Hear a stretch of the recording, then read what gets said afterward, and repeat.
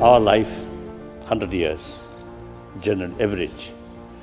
Uh, so we have to take serious concern about uh, our century. Of course, I am monk, no children.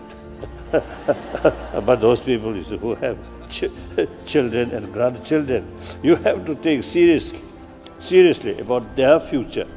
Therefore, uh, it is our uh, responsibility. Like, you see, taking care about our own home, our own room. Even though with help of technology, we can go, of course, moon, now much easier. We can go Mars and some other sort of planet.